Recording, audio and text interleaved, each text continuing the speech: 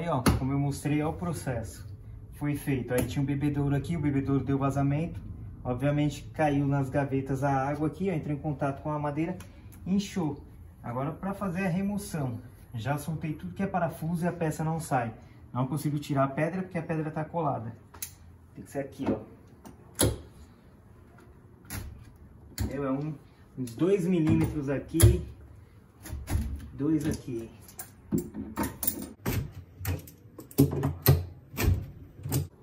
Enquanto não saiu tamponado,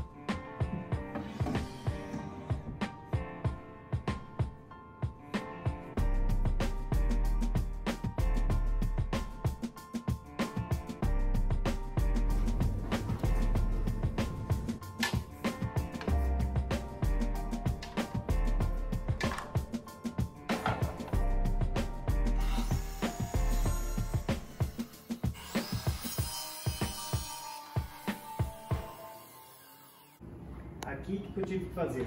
Trocamos toda essa parte desse móvel, que era inclusive cor do madeirado aqui dentro. Como inchou, aqui tinha o bebedouro, o bebedouro estava aqui, inchou as madeiras por um vazamento.